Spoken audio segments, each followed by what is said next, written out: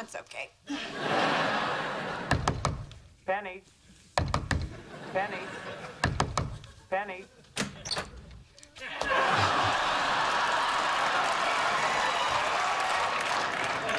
Penny. Would you have opened the door if you knew it was me? Not since I found out the teddy bear you gave me had a webcam in it. I just have a question. Uh, does Bernadette ever talk about me? Oh, absolutely. She does? Yeah, sure. Just yesterday, she asked, why is Howard hiding under the table? She saw that, huh? Oh, no, not at first. Right after I pointed it out. I, let me ask you something else. Is she seeing anybody? Uh, not that I know of. Hey, while we're on the subject, why did you guys break up anyway? I'd rather not say. Howard, if you want my help, I've got to know what happened. But it's embarrassing. Yeah, that's what I'm counting on, Spill.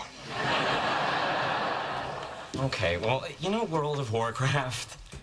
The online game? Sure. Well, did you know that the characters in the game can have sex with each other? Oh, God, I think I see where this is going. Her name was Glycinda the Troll. Bernadette walked in on me while we were doing the cyber nasty under the Bridge of Souls. Oh, you're right. That is so embarrassing. Would you talk to her? Bernadette or the troll?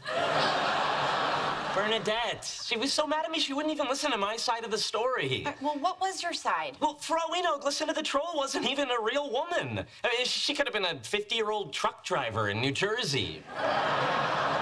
Really? And that didn't make her feel better? Will you talk to her? See if there's any chance at all we could get back together? Uh, gee, Howard, I really don't want to get in the middle of this.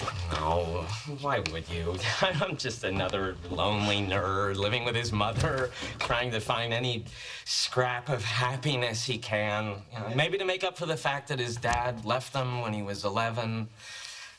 Okay, I will think about it. You know, I've always blamed myself for him leaving. I always thought it was because I wasn't the son he wanted. Yeah, I said I'd think about it. I wasn't athletic. Yeah, I was kind of sickly. Okay,